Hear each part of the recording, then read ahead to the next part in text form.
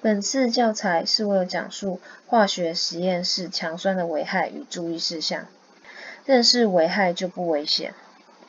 内容的部分分成五点，分别是强酸简介、强酸对人体健康的危害、强酸操作注意事项、强酸意外事件与紧急救护，最后是强酸废液处理。那在认识强酸的部分，首先要先做对酸去做一个定义。酸及传统定义就是化合物溶在水溶液中时，溶液中的氢离子的浓度是大于纯水中氢离子的浓度。那这个时候我们就称它为酸性的物质。那一般以 pH 值来观看的话，水溶液中的 pH 值原则上是在七左右，所以只要是小于 pH 值七的部分，都是属于酸性成分的水溶液。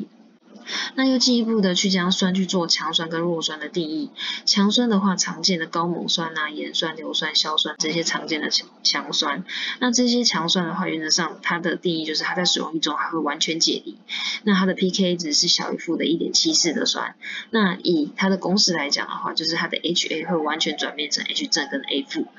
于水溶液当中。常见的强酸的话，大多是无机酸，共通点都是具强腐蚀性、侵蚀性的，会造成很严重的灼伤的，所以碰触之后呢？例如我们下图所示，会有很明显皮肤组织碳化的现象。那以弱酸的部分的话呢，常见的是甲酸、乙酸、丙酸、丁酸等。那这些弱酸的话呢，在水溶液中是不完全解离，只有部分解离而已。pK 只是大于负的1.74的酸。那以它的公式来看的话，它的 Ha 并不会完全转移成 H 正跟 A 负。常见的弱酸为有机酸啊。那当然，当然有部分例外，像三氟乙酸跟三氟甲磺酸，它们都还是属于强酸，但大部分都还是属于弱电解质的酸。性物质，弱酸的部分呢，并不是说就不会造成我们皮肤的灼伤或是很严重的脱皮或是红肿。我们下图所示就是可以看到很明显的皮肤一样被弱酸滴到，也是会造成很明显的肿胀，甚至脱皮，甚至碳化，也是都是有可能的。放置的时间长短都会影响。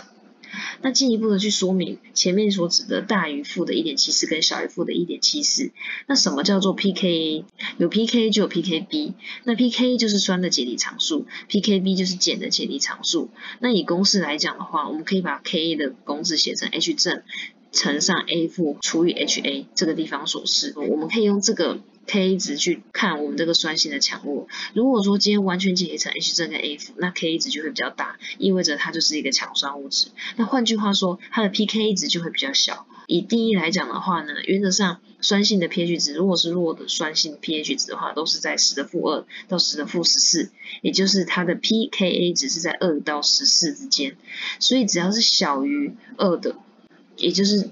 小于负的1.74的这个 range 的，我们就是说它是属于强酸。那大于负的1.74，也就是大于二的这个 range，我们就说它是弱酸。所以刚刚前面所介绍的大于负1.74跟小于负1.74，在这个地方再去做一个加加强的补充。前面所讲的弱酸的例外。好，三氟乙酸跟三氟甲磺酸，在这个地方我们进一步说明它的一些危害性，跟它需要注意的部分。三氟乙酸 （trifluoric acetic acid） 它是一个透明无色的液体，它具有刺鼻的臭味，它能够造成皮肤或眼睛的严重的灼伤。直接倒入水溶液中的话，也会造成长期水生食物的危害。那吸入的话，都会造成很严重的腐蚀性，因为它的结构上，如如我们右。右边所示，它的碳上接了三个氟，这个三个氟会造成它的吸电子的效率增强，所以它的酸性比一般的乙酸还要大十万倍。那三氟甲磺酸用用同样的概念，我们又可以说把它的缩写 list 在这个地方，TFMS、TFSA、HOTF 跟 TFOH。那它的 pK 值的话，借由上之前前面介绍的概念，可以知道它 pK 值是小于二之外，它还是负十二。所以它是非常强的酸性物质，那容易造成接触之后，它除了有强烈的放热之外，会造成我们皮肤的灼伤、组织长期的受损，以及如果吸入的话，也会造成痉挛，甚至水肿或者一些发炎的现象。那下面这张图就是误吸了这个三氟甲磺酸之后所造成的皮肤水肿的这个严重的现象。那借由前面的叙述呢，我们常见的酸的分类在这个地方就可以分成含氧的、酸强弱的，还有具具不具挥发性的。那一般含氧的话，像硫酸、硝酸、磷酸啊，或是呃碳或过滤酸啊、碳酸这些都是。无含氧的话，像氢溴、氢碘或是硫化氢、氢氟酸，这些都是无含氧。那强中弱的话呢，像盐酸、硫酸、硝酸都算是很强。中强的话就是磷酸，那弱酸就是碳酸或者醋酸。那有没有挥发性呢？像盐酸或是硫化氢或是硝酸都是具很挥发性的。那不具挥发性的水溶液状的，就像是硫酸。就这个概念的话，我们一般在酸性的这些试剂当中，它的瓶身原则上都会出现这这六种常见的标志。那我们这个地方再做一个介绍，这六种 GHS 的标志很重要。第一个惊叹号的符号是说明这个酸性物质它具有皮肤刺激性、眼睛刺激性，甚至具有极毒性。所以如果碰触的话，容易造成就是灼伤、烧伤。所以这个惊叹号符号通常都是说明对我们人体是有危害性的。所以原则上，为什么我们呃使用这个酸的时候，如果看到这个惊叹号，我们一定要戴口罩跟戴手套是很必备的。另外一个是人一个人像的图案，这是健康危害标识，那是说明如果你吸入了之后，你会造成你身体，比如说肺部啊，或是黏膜的。口腔的一些腐蚀或是一些不舒服、呼吸道的一些受损，这些都是健康危害，所以就说明戴口罩重要。那水生环境危害标识在这个地方说明，我们通常在使用完酸性废液之后，我们要处理掉它。那如果我们直接去进行水槽的倒取的话呢，就容易造成呃对水质的污染，甚至会造成水中的生物的一些危害性。那腐蚀危害标识下面所示的这个也很常在酸性的瓶身看到，就是说明说这个酸它具有强腐蚀性，所以如果说你误触的话，你容易造成你的身体的危害或是皮肤的受损。OK，腐蚀危害标识。那易燃危害标识这这个地方的话呢，就是说明有一些的。呃，酸性物质的话呢，试剂它是具有氧化性的。然后它如果碰触到某些气体，比如说硫硫的气体或是磷的气体，它容易具有发烟或是散燃的这个作用，就是易燃的危害标识。那氧化性危害标识的话，就如同刚刚易燃标识很像。不管是易燃的气体、易燃的固体，或是易燃的液体，这些都容易会造成我们皮肤的受损或是刺激，眼睛黏膜的受损或刺激。所以这些六种标识是容易在强酸或是弱酸，只要是酸性的试剂当中，瓶身容易出现这六种标识。再进一步的去介绍几个强酸，是在实验室很常见的。那在介绍刚开始呢，我们会先去说明说，我们一般在使用强酸的时候，我们是为了要让它做稀释，稀释完之后，我们会取用稀释过的强酸去做实验。所以在稀释的时候呢，我们不可以像呃上面这张左图所示，就是我们徒手去拿这个强酸，然后把它倒入具有水溶液的这个烧杯当中，是绝对。是错误的示范。错误的第一个步骤是他的手没有戴手套，直接碰触强酸是容易造成皮肤灼伤的。第二个是他直接套着瓶壁，然后要把大量的这个硫酸倒入这个水溶液当中，是容易造成大量放热喷溅的这个现象。除了有气体会造成刺鼻的味道之外呢，也会造成液体的喷溅。正确的一个操作的流程应该像旁边所示，双手戴上手套之后呢，利用波棒去将这个浓硫酸去进行。引流到水溶液当中，那这样才可以避免大量喷溅以及大量烟雾冲出来的这个现象。不管是什么强酸，在做稀释的时候，都应该是用这样的操作模式去进行稀释。那下面几种强酸分别是硫酸、硝酸、还有过滤酸、氢溴酸跟磷酸。那这个地方的话，硫酸跟硝酸常见，旁边的这些 GHS 的标示，就是我们刚刚介绍过的，都具有致命性、氧化性、危害性以及腐蚀性。像过滤酸的部分的话呢，就是这个地方要特别强调是，它比硝酸跟硫酸更具有强氧化性，所以它的腐蚀性就更强了。所以我们可以看到它的这个 GHS 的符号里面就是有一个火焰的这个部分。那氢溴酸的话呢，它其实酸性比盐酸还要更强，那这样就更有够很有概念，就是说它其实呃在它而且它容易挥发在空气中，它是完全解离成 H 正跟 Br 负的，所以它容易造成皮肤的灼伤。眼睛的损伤，容易吸入，造成呼吸道的刺激，甚至受损。好，所以这是很严重的。那磷酸的话，感觉起来它并不是一个很强的酸，但是它一样，当它是浓浓缩后的这个磷酸的话，它一样会造成我们严重的皮肤灼伤，或是眼睛受损等，都还是具有腐蚀性的。所以这五种强酸是实验室容易出现的酸，那旁边也标示了它的一些 GHS 的这个符号，是我们刚刚前面介绍过的。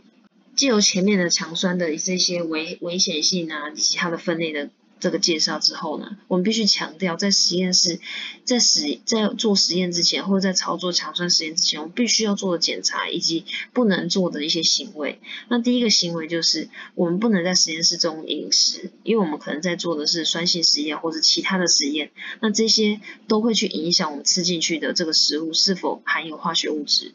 那第二个，不能在实验室奔跑，因为我们不实验桌其实。是有很多很危险的实验在操作，甚至有可能呃酸性的这些试剂啊，或是一些滴管啊，可能就在桌子附近。那我们奔跑冲撞，有可能会造成呃酸性物质喷溅到我们身上，甚至影响到其他的学生在做实验的时候的安全性。那第三个就是个人物品的放置。那我们很当然在做实验的时候，一定要维持实验桌是很整洁的。那这样子我们在操作实验的时候，才可以降低就是啊不小心碰触到这个桌面，或者不小心撞到哪里，然后造成呃酸性反应或是酸性的物质倾倒，然后喷溅到我们身上，或是呃残留在这个桌桌子表面。所以个人物品一定要完全的就是不要放在实验桌上，降低实验的风险。那实验室必须要有东西，就是进入这个实验室，你必须先检查淋浴设备、洗眼器、灭火器、灭火毯等这些方式。那淋浴设备跟洗眼器就是说明，就是如果我们碰触到皮肤或是碰触到眼睛的时候，我们必须大量清水去做冲洗。那灭火器跟灭火毯就是说明，通常酸性溶剂的话呢，或是其他的实验都还是具有氧化性，OK，可燃性。所以呢，一定是需要有灭火的这些呃设备在这个实验室当中。实验室设备以及必要的注意事项当中的话，就包含今天要进这个实验室，除了我们自己要做好前面所叙述的几项规矩之外，我们还是必须要在实验室当中，我们的药品必须要储存放整齐，以及具具有抽风的这个性质。所以前面就是说明了，这是它必须要。整整齐摆放，然后要摆放于抽风柜当中，才可以降低药品。有一些药品它是具有挥发性的，那它会有气味或者是药品溢出来，那影响到其他药品。那第二项，在操作化学实验室，酸性试剂的提取必须在抽风组当中，才可以降低我们呼吸道吸入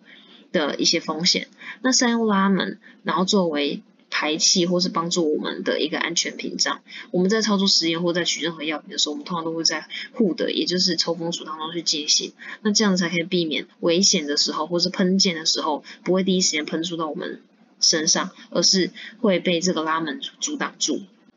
那但这个拉门要维持在一个安全的高度下操作实验，那千万不要把头放在拉门当拉门里面，因为这样子的话，等于是拉门没有帮保护住我们，而是我们第一的。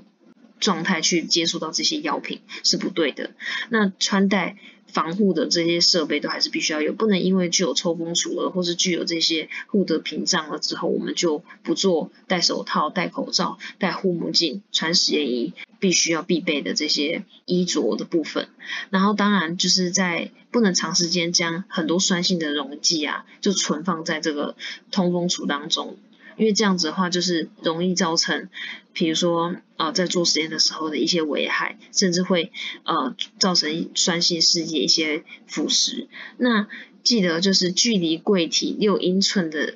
内操作实验是比较安全的。那化学排烟柜内不要堆放不必要的物品，这是前面就有讲过的，然后避免影响导流或是排烟的这些效率。那下一步，第二项，第二个大项，强酸对人体的危害。以及呃强酸对人体健康的危害。那这个地方我们就举了呃三个例子，是真实的强酸事件，然后发生在这个校园当中的。那其中一项就是酸碱中和发生一体喷溅的时候，我们在做实验的时候，操作酸碱中和的实验的时候，我们如果说太剧烈的去进行这个反应，没有缓慢的去做引流的时候，容易造成快速的喷溅。那这个学校的话就是。这个同学因为他进行这个实验的时候造成喷溅，然后喷溅到他皮肤，造成他灼伤，甚至有眼睛部分的周遭被碰触到，所以当然他有立即的去进行冲冲洗或者洗眼器的冲洗，然后去做救治的部分。那这就说明了我们是不是真的有把我们护目镜戴好？那我们戴的是不是真的符合标准的规格的？那我们是不是真的有穿戴好实验衣，遮蔽住我们皮肤的每一个角落，才可以降低这个喷溅的时候不会第一时间喷喷溅到我们的肌肤上？那第二个事件的话，就是误认酸性试剂的这个事件，所以这就说明我们在药品的摆放上面跟处理上面，我们必须要很明确，也就是要做一个很明确的标明，这样才不容易误认这个酸性试剂，或是我们在做实验的时候，我们要过专心，这样才不会误认说，因为酸性溶液通常都是透明的，有一些可能是褐色的，但是。你如果取出来，你不知道说这个烧杯当中的这个透明的液体到底是什么东西，所以你很有可能会啊把它拿去倒，或是把它拿去做任何的处理，这样这样子都容易造成受伤。所以这个事件的话，就是不小心把浓硫酸当成醋酸，那一名女学生不慎把浓硫酸喷溅到这个同学，所以造成她的手或是脸有二到三级的这个烫伤，所以这是很严重的事情。第一，严重的是她不应该这么不小心让这个。试剂去做喷溅，结果这个司机竟然是浓硫酸。第二，这个男同学他是不是没有很完善的把他的实验该有的装备穿戴齐全，所以造成这样的现象？好，所以这个是要特别注意的部分。那强酸的错误萃洗的这个事件的话，就是当我们刚刚前面讲的浓硫酸或是浓酸、强酸在做处理的时候，一定要。经过困局之后才能倒入水槽。那如果没有的话，或是直接在水槽进行酸碱中和的话，都容易造成强大的烟挥发出来，那容易造成我们呛咳或者是呼吸道的灼伤。所以这个事件就是说明这件事情。那它是太严重，严重到呃右眼的角膜有腐蚀的现象。对，所以这些事件都是说明我们在进行强酸操作或是处理或是萃洗的时候，我们真的要很谨慎小心。就是反正不能够。太快速或太鲁莽的去进行这个呃酸性试剂的提取或是处理，那所以化学性的强酸操作急救的救护在这个地方，如果说今天真的哎不小心喷溅到受伤了，第一时间该怎么做？第一就是剪开。喷溅到的衣物的部分，把衣物剪开，让皮肤露出来之后，采用冲脱盖送的部分，当然用大量的清水去做冲洗。那如果是眼睛部分的话，就是会用洗眼器，然后将它有眼皮拉高的部分，眼球左右移动，避免另外一只眼睛受到波及。那再来就是不可以在患部的地方用酸碱中和。OK，这样子容易造成大量放热，然后二度灼伤。那在酸的患部的话呢，有一些，比如说。不小心酸喷进到眼睛的部分，用大量冲清水冲洗的时候，它的效果还不及使用迪辅林 （Diphotering） 的这个 solution。那这个迪辅林呢，它的作用机制的话呢，其实它是可以降低腐蚀性的物质侵略我们的皮肤组织，那可以降低呃我们的伤口的这个部分。那它被证实它的水它的综合的效率，其实是比清水还要来的好的。那旁边的这个呃有这个迪辅林的这个。样子的图，还有它呃如何操作的这个这个部分，就是我们有旁边这个人像这个图可以做一个介绍。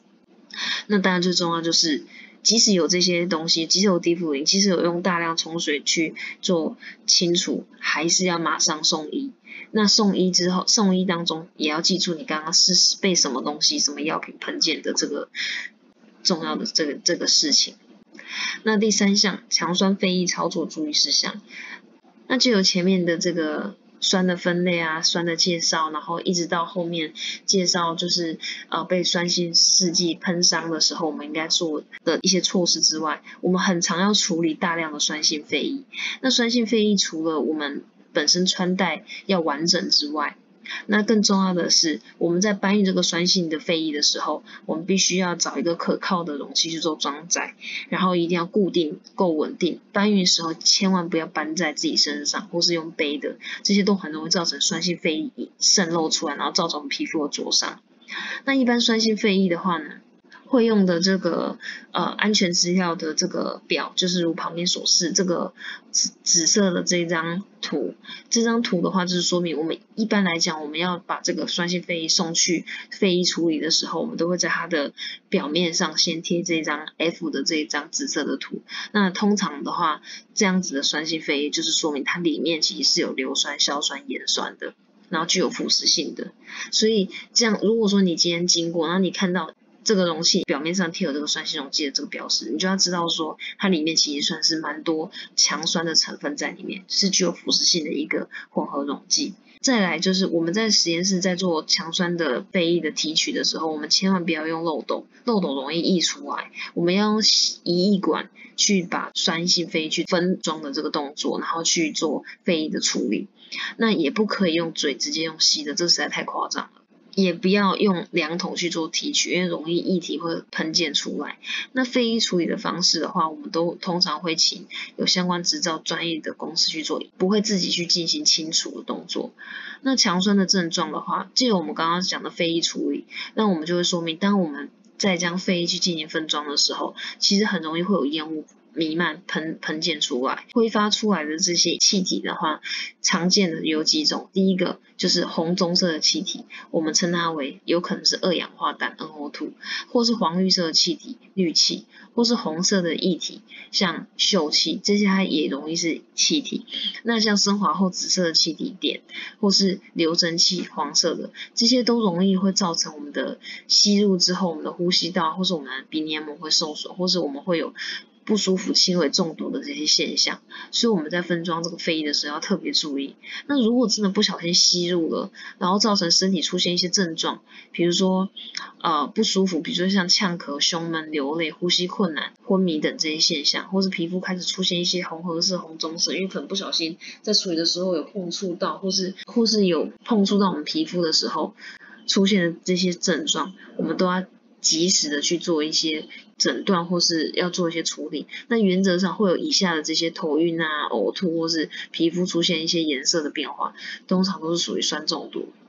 那如果我们今天酸中毒了之后，我们当然第一时间的话，除了先做休息之外，然后当然第二时间就是要送医。那所以我们在做废液处理的时候，我们是否真的把这个废液进行一个很好的安排跟处理？这个地方我们就是分成几项，是可以把酸性溶剂去做废液的分配的。第一个，你可以把酸性溶剂分成有氧化性跟无氧化性，或是分成有机酸、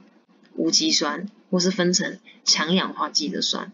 OK，你如果把这些酸性废液都分得这么仔细的话，其实就可以降低呃酸性中毒的这个危害。那下面我们所所放的这个 ST 废液防漏的层盘，PP 防漏层盘，这两种层盘的话，是我们很常在实验室看到的。那也就是说明说，如果今天我们要做废液处理的时候，很常会出现这些中毒或是喷溅、皮肤出现灼伤的现象，是因为我们的废液桶没有放置的很完善，所以容易在搬取的时候有渗漏，或者是有气体挥发出来。这个下面指的就是告诉大家说。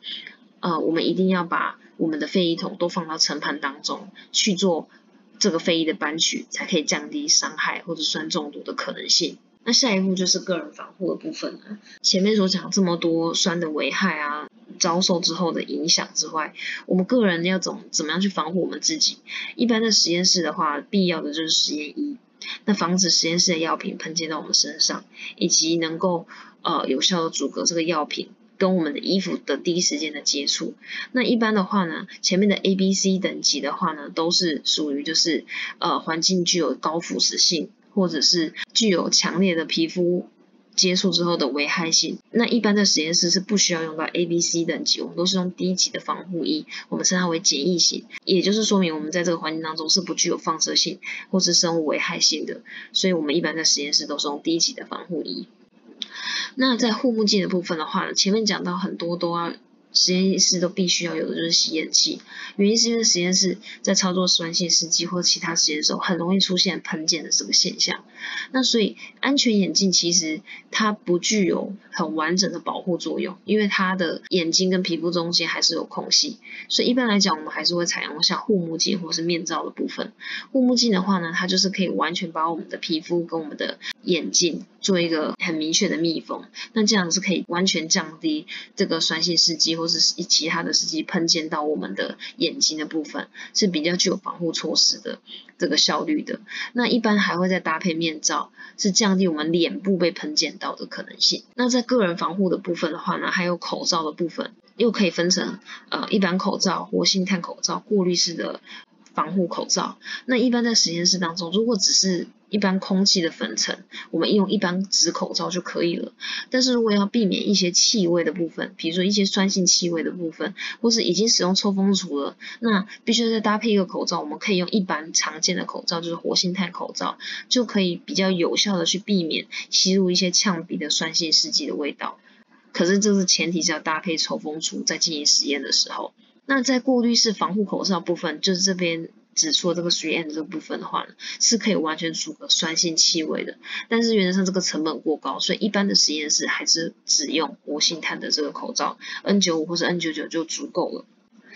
那在手套的部分的话呢，一般来讲手套可以分成丁腈的橡胶手套，或者 PVC 的这个乳胶手套，或是聚乙烯醇的 PVA 的这个手套。那它们的作用的话，我们可以知道橡胶手套的话，因为它够厚，所以它原则上呢可以抵抗无机酸，也就是常见的强酸、有机酸，还有腐蚀性的物质。但是我们手的这个完全密合的性质没有到那么高，所以你。如果戴橡胶手套，其实你很难操作实验，再加上它太厚了，所以原则上我们常用的是 PVC 这个乳胶手套。那这个 PVC 乳胶手套，因为我特别处理过，所以它虽然算薄的，那它的贴皮肤贴肤性也很好，那它一样可以抵抗无机酸、有机酸跟腐蚀性的物质。但就是由于 PVC 这个手套它比较薄，所以如果说我们就一直不断的重复使用这个手套的话，它也是容易被无机酸或有机酸给腐蚀，甚至出现一些细微的小破洞。那这个时候就不能不太能重复使用了。所以原则上，乳胶手套的使用就是一两次，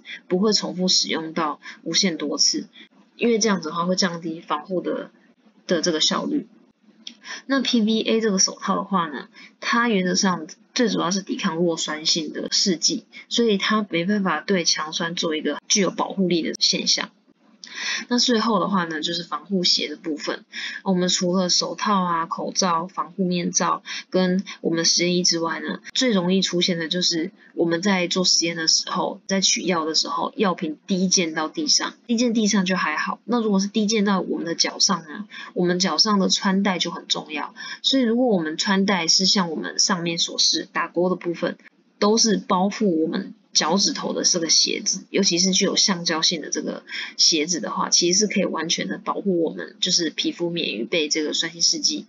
滴到，然后出现腐蚀性的现象。我们千万不可以穿戴拖鞋，或是凉鞋，或是高跟鞋，呃，或是甚至赤脚。你只要露出皮肤，其实你很容易在实验室，第一实验室很危险，就是有很多玻璃。除此之外呢，实验室地上可能都滴了很多试剂，这些试剂不确定有没有强酸。那或者在操作实验的时候，在提取酸系统剂的时候，都很有可能造成滴溅，然后喷溅，造成皮肤的灼伤。所以在个人防护部分，防护鞋一定要穿戴可以将脚趾头完全包覆的这种橡胶的鞋是比较安全的。那最后呢，谢谢大家的聆听。那希望这个呃强酸的这个介绍是对大家有帮助的。